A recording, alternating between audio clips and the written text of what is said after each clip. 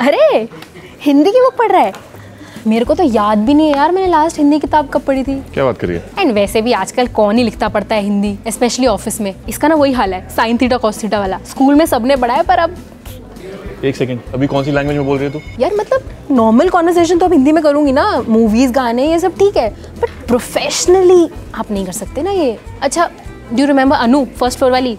She is brilliant with her work पर उसका boss उसको कभी किसी क्लाइंट मीटिंग में नहीं लेके जाता। यू नो वाई उसके ना इम्पल्स ही ऐसा है कि उसका निकलती हिंदी है मुँह से। बट अब क्लाइंट को नहीं ना पता कि उसको इंग्लिश भी आती है। उसको तो लगता है इसको कुछ नहीं आता बिल्कुल ही नालायक है लड़की। डूड एक minute language and knowledge are two different things पता है मुझे।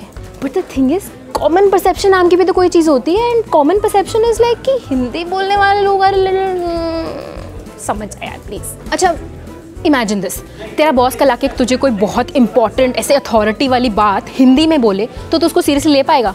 नहीं ना? और तुझे कोई इंप्रेसिव सा, धांसू सा ईमेल लिखना हो तो हिंदी में थोड़े ना लिखेगा यार। इट्स सो अनप्रोफेशनल अच्छा तुझे वो फिफ्थ फ्लोर वाला ऋषभ याद है? उस दिन वहाँ पे खड़े होके पाता नहीं किसको शुद्ध हिंदी के भाषण में पका रहा है। एंड आई वाज लाइक हे भगवान! मतलब आपको ऐसी खतरनाक हिंदी बोलनी है? बोलो।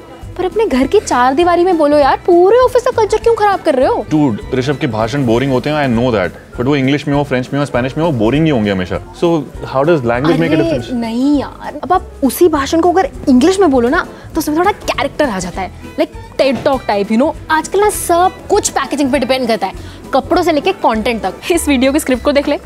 हिंदी के बारे में है पर हिंदी भी इंग्लिश में लिखी हुई है. क्या बोल रही थी मैं? हाँ यार फिट इन होना ज़रूरी है everybody has to fit in and आज तक तो नहीं देखा मैंने कि कोई हिंदी बोल के फिट इन हुआ हो। बहुत सही है। सही जा रही है एकदम। यार तू बुरा मान रहा है। अच्छा मेरी बात सुन। मेरे को ये मेरे अपने नेफ्यू के हिंदी के होमवर्क के साथ हेल्प चाहिए थी। प्लीज़ देख लेना मुझे कुछ समझ नहीं आ रहा। Thank you so much sorry एक मिनट एक मिनट। इससे पहले कि आप हमें इंग्लिश हिंदी फारसी किसी भी लैंग्वेज में हेट कमेंट्स लिखें आई होप आपको समझ आ गया होगा कि ये वीडियो सरकास्टिक था। कोई भी लैंग्वेज इन्फीरियर या सुपीरियर तो होती नहीं है।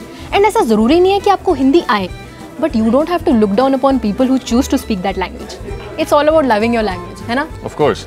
And if you like this video, then do share it and subscribe to India Times.